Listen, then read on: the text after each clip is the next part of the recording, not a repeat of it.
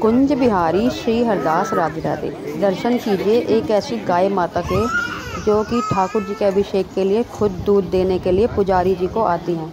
और अब आप देखिए गाय माता जो हैं आ रही हैं और इनको रोटी गुड़ और जो भी होता है वो खिलाया जाता है। और उसके बाद ये देखिए दूध देंगी अपने आप ही दूध देती हैं। इनको धोना भी नहीं पड़ता और कुछ भी नहीं करना पड़ता। और गाय माता अपने आप ही जो है दूध देती है। ये देखिए पुजारी जी आए हैं। और अभी इन्हें खिलाएँगे और उसके बाद गाय माता अपने आप ही दूध देंगी।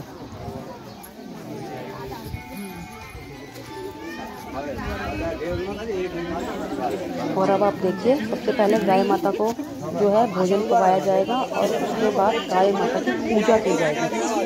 ये देखिए, ये सब स्त्रियाँ मिलकर जो हैं, गाय माता की पूजा कर रही हैं। आप देख रहे हैं इनको तिलक लगा रही हैं और उन्हें भोजन करवा रही हैं गाय माता को। और इसके बाद गाय माता के चरण स्पर्श करेंगे उनकी पूजा करेंगे और उसके बाद गाय माता स्वयं ही दूध देगी। आप देखिए। ये देखिए।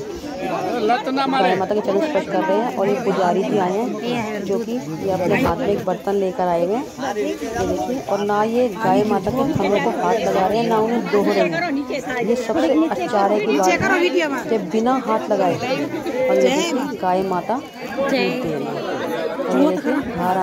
रही है। सिर्फ़ उनके थनों के नीचे ये बर्तन रखा है। हो गई ये गाय माता अपने आप ही स्वयं दूध देती है। ना इनके थनों को हाथ लगाना पड़ता है, ना छूना पड़ता है। ना दूध को जो है दुहना पड़ता है। दूध आना शुरू हो ये आपको दर्शन हो रहे दूध के। ये देखिए, गाय माता स्वयं दूध दे रही है। ये है ठाकुर जी का एक चमत्कार। जैसे कहते हैं गाय माता स्वयं यहाँ पर रोज दोनों टाइम दूध देने अपने आप ही जो है इनके थनों से दूध आता है।